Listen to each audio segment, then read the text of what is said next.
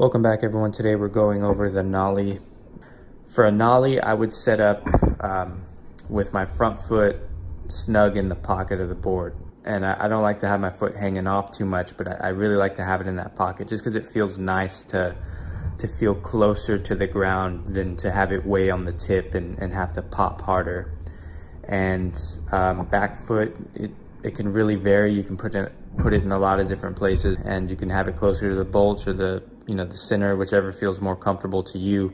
You're gonna apply the same principles that you would for an ollie. You know, you're gonna pop and as you pop, you're gonna start sliding the, um, the back foot um, backwards and, and that's what feels a little uncomfortable since with a regular ollie, of course, you're, you're gonna be sliding it forwards in the direction that you're going. And in this case, it's, it's gonna feel, you know, like you might be going backwards a little and that's okay.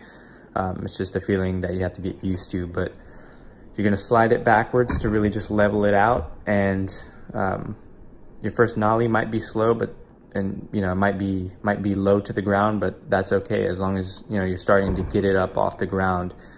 You really just want to continue that expansion of um, of you know of really lifting it up higher and leveling it out over time, and eventually you know you'll just get to the point where you can start nollieing over stuff. So it might not come for a while, but uh, you just want to practice that motion over and over. Um, and like I said, it feels it feels nice to really have the front foot closer to the, the ground, even if it's just a little bit, it makes a world of difference.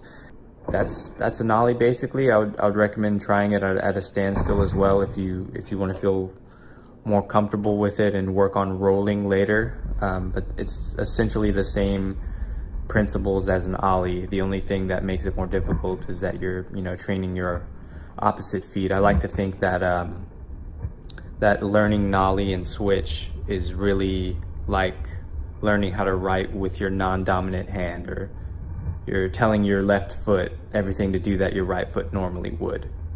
And that's essentially a nollie for you. So, and I'll be honest, I don't go over too many nollie tricks or switch tricks because they tend to be, um, you know, they tend to have the same principles as regular tricks. So whether you're doing, you know, a, let's say a, a regular kickflip or regular tray flip, uh, when it comes to nollie and switch, a lot of what applies with the regular version of the trick is going to apply with nollie or switch. Now there's going to be a few, a few differences for sure, but um, when it comes to nollie, switch, fakie, um, you can really take the principles from a regular trick and apply it to those things. Now, as I said, you might be rolling in a different direction and it might feel weird.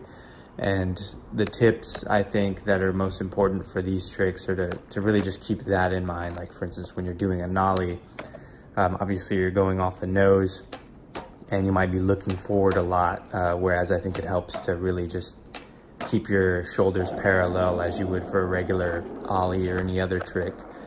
And I think the, the earlier that you can start learning nollie and switch, um, the better, just because you, you won't feel like you're so far behind as you, as you get further into it.